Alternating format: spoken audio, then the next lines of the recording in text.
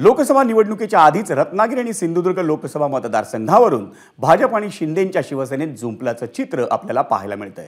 उद्योगमंत्री उदय सामंत यांचे भाऊ किरण सामंतांचे भावी खासदार म्हणून बॅनर्स हे आता मुंबईत लागलेत. हे चित्र आपल्याला रत्नागिरीत आधी दिसलं होतं पण आता त्यांचे बॅनर्स मुंबईतही लागलेले दिसत आहेत त्याच्यावर उल्लेख आहे की किरण सामंतांचा भावी खासदार म्हणून आणि हेच बॅनर्स आता लक्ष वेधून घेताना दिसत आहेत या बॅनरवरून वातावरण देखील तापल्याचं आपल्याला पाहायला मिळतंय. एबीपी माझा. उघडा डोळे बघा नीट.